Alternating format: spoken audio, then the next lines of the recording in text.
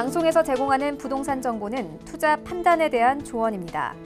방송에서 제공하는 부동산 물건의 가치, 가격 상승 및 가격 하락에 대해서는 방송사에서 보장하지 않습니다.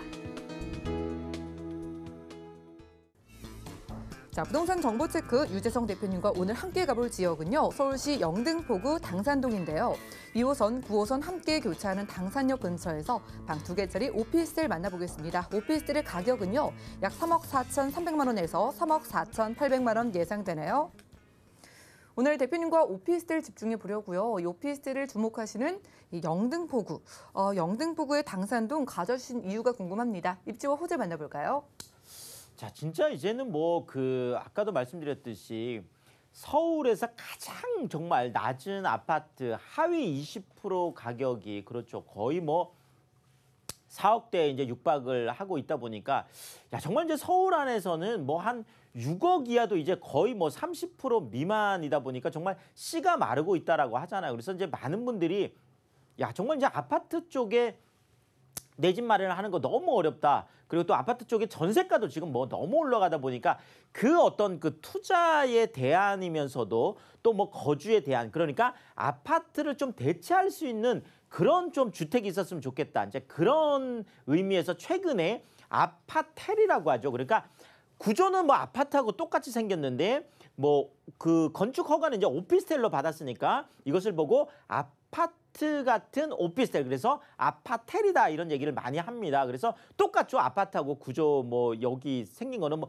똑같이 뭐 큰 방 있고 작은 방 있고 거실 있고 욕실 있고 다 있으니까 그렇습니다. 자 그런데 이런 아파트를 우리가 투자할 때 많은 분들이 선호하는 지역이 있습니다. 그것이 바로 역세권이라는 거죠. 그러니까 뭐 요즘 지하철역 주변에는 정말 너무나 번화하게 잘 돼 있잖아요. 그래서 지하철역에서 이제 가까운 지역들인데 자, 근데 지하철 역세권 안에서도 자, 이왕이면 그렇죠. 이왕이면 지하철역이 하나 지나가는 것보다는 두 개 지나가는 게 훨씬 더 낫겠죠. 그런데 그 지하철도 어떤 지하철이 지나가느냐가 이제 너무나 중요하겠습니다. 그래서 서울 안에서 많은 사람들, 모든 사람들이 이용할 수 있는 그런 걸 보고 우리가 황금 노선이다. 황금 라인이다 이렇게 얘기를 하잖아요. 자 서울 안에서 두 개의 황금 노선이 있습니다. 그것이 바로 하나가 2호선이에요.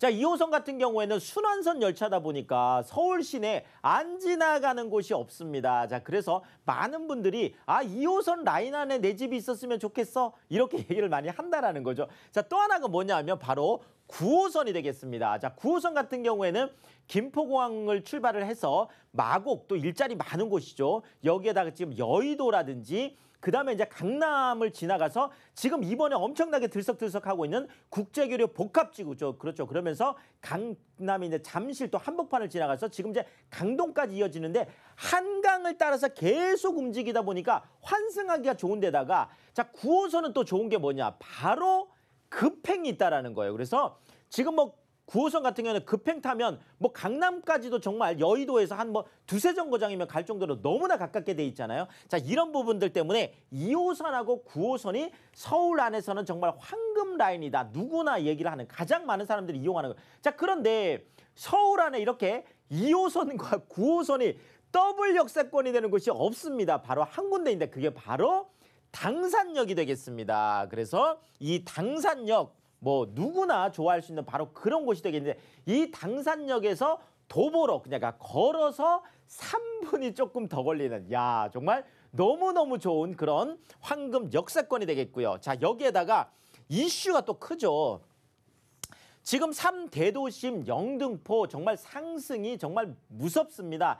이번에 뭐 그 매매 수급 지수가 이제 나와 발표가 됐는데도 지금 그 서울 같은 경우에 지금 100을 넘어서서 지금 다들 어우 정말 대단하다 뭐 지금 매수 심리가 지금 살아나고 있죠. 그런데 지금 서남권 쪽 특히나 지금 영등포나 양천 이런 또 뭐 목동 이슈가 있으니까 또 목동은 또 그렇겠죠. 자 이런 쪽들이 지금 많이 곽강을 받고 있는 게 이 영등포가 이제 종로와 강남과 영등포 이렇게 3대도심으로 지금 성장을 하고 있으니까 그렇죠. 지금 뭐 강남하고 지금 종로 같은 경우는 많이 성장이 돼 있지만 영등포는 이제 3대 도심으로 막 크고 있는 그런 곳이다 보니까 그만큼 또 개발 이슈들도 뜨거운 곳이 되겠습니다. 자, 또 하나가 영등포가 이렇게 뜨거운 이유는 바로 그 안에 3 현대 업무지구인 여의도를 품고 있기 때문에 그렇습니다. 지금 여의도 이렇게 또 난리 난리 네 바로 그렇죠. 파크원이라고 하는 지금 뭐 누구나 지금 한강 왔다 갔다 보면 어 저거 저 건물 뭐야 할 정도로 가장 높은 그렇죠. 지금 여의도 안에서 또 69층 그러니까 63 빌딩보다도 오히려 더 높은 지금 또 큰 빌딩이 하나가 아니라 그렇죠. 두 개 동에다가 지금 또 현대백화점에다가 지금 페어몬트 호텔까지 지금 어마어마한 이 파크원이 이제 정말 다음 달 이제 입주를 하게 되었습니다. 그래서 또 이 주변이 지금 좀 들썩들썩 하고 있는 곳이 바로 여의도 그런 이슈의 중심지가 되겠습니다. 자, 또 여기에다가 지금 당산 쪽은요.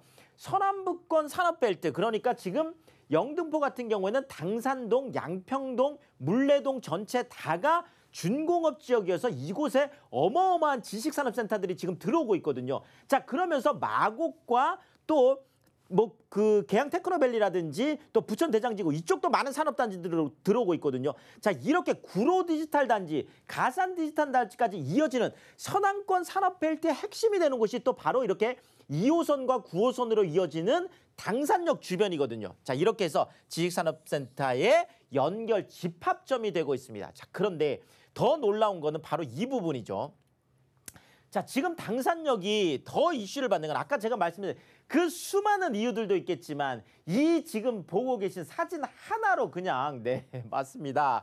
지금 이 보이고 있는 이것이 바로 한강이 되겠습니다. 네, 이렇게 한강이 유유히 흐르고 있는 바로 그 한강 지금 바로 옆에 이 야, 정말. 그래서 한강에 대한 그 가치까지 제가 말씀드린 이 아파텔 같은 경우에도 정말 한강 바로 옆에 있는 집이거든요.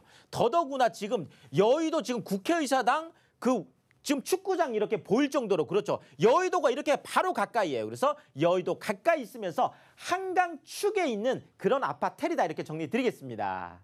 와, 여의도와 한강 바로 가까이의 오피스텔이네요. 여러분, 이렇게 입지가 좋은 아파트는 씨가 마르고 있다고 합니다. 그리고 또 아파트 너무 비싸니까요. 그 대안책으로 아파텔, 일명 아파트라고 불리는 오피스텔을 소개해주고 계신데 그럼 영등포구 쪽 오피스텔의 전략 어떻게 보고 계시나요?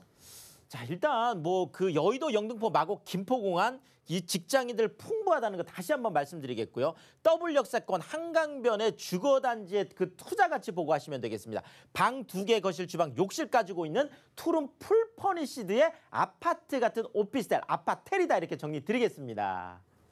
네, 서울 웬만한 곳은 다 지난다는 핵심 노선인 2호선과 9호선이 함께 교차하는 곳인데 그럼 이런 지역의 오피스텔 가격은 어떻게 될까요? 자, 뭐 정말 한강 축이라고 10억, 20억 넘으면 못하겠죠. 3억 4,300에서 3억 4,800 신축인데요. 전세가 한 3억에서 3억 1천까지 형성돼 있다 보니까 실제로 3,300에서 3,800이라는 소액을 가지고 투자할 수 있겠다 이렇게 정리 드리겠습니다. 네, 전세를 활용했을 때 3천만 원대의 소액 투자로 이렇게 영등포구에 여의도가 가까운 곳에 오피스텔 투자가 가능하다고 합니다. 아래 전화번호 02-3153-2668번 언제든지 연락 주셔가지고 입지 좋은 오피스텔을 상담 받아보시기 바라고요. 자, 그럼 유의점도 분명히 있을 것 같아요. 이렇게 입지 좋은 곳에 오피스텔이라고 하지만 주의할 점 한 가지 꼽아주신다면 어떤 거 있을까요? 자, 지금 뭐 우리가 보통 그 부동산 투자를 할 때 많은 분들이 이제 생각을 하시는 게 현장을 저는 뭐 꼭 가봐야 된다고 말씀드리고 싶어요. 제가 아까 그 뭐 한강 그 사진도 보여드렸잖아요. 자 그러면 정말 한강이 얼마나 가까운지 이런 것들도 봐야 될 것 같고 자 더더구나 지금 이거는 이런 부분들은 거의 이제 투자 쪽이다 보니까 내가 직접 그 실거주하는 게 아니죠. 자 그렇다면 이제 이런 것들은 우리가 투자의 어떤 그 시선을 바라볼 때 그 내가 집주인 시선에서 바라보는 게 아니라 세입자들 시선에서 바라보셔야 돼요. 그래서 정말 여기 세입자들이 들어왔을 때 정말 뭐 슬리퍼 신고 뭐 영화도 보고 슬리퍼 신고 직장도 가고 또 슬리퍼 신고 할 수 있을 정도로 그렇게 번화하면서도 이런 것들이 잘 갖추어져 있는지 이런 것들을 우리가 잘 좀 보고 또 투자를 하셔야 될 것 같고 자 또 하나는 지금 같은 경우에는 사실상 우리가 한 3천만 원 정도의 금액을 들고 야 서울 안에서 지금 어디에 지금 투자할 수 있을까 이렇게 생각을 해보면 정말 그렇게 만만하게 정말 투자할 수가 없습니다. 그래서 지금 뭐 웬만한 데들은 보통 우리가 뭐 3천만 원이라는 소액을 가지고 투자를 하려고 하면 뭐 어디에 가도 뭐 그렇죠. 자, 그러니까 이왕 내가 소액을 가지고 만약에 투자를 할 거라면 아무리 소액이라고 하더라도 그렇죠. 이왕이면 아 여의도 이렇게 가까이 있으면 좋겠어. 아, 내 집 옆에 한강이 흐르면 좋겠어. 아, 이왕이면 방 두 개, 거실, 주방, 욕실까지 갖추고 있는 아파트하고 똑같은 구조로 되어 있으면서 그러면서 사람들이 이렇게 살기 좋은 이런 아파트 같은 구조의 아파텔이었으면 좋겠어. 뭐 이런 것들에 대해서 우리가 좀 생각을 하고 투자를 하신다라고 하면 뭐 여러분들이 투자를 하시는데 좀 도움이 되겠다 이렇게 말씀을 드리겠습니다.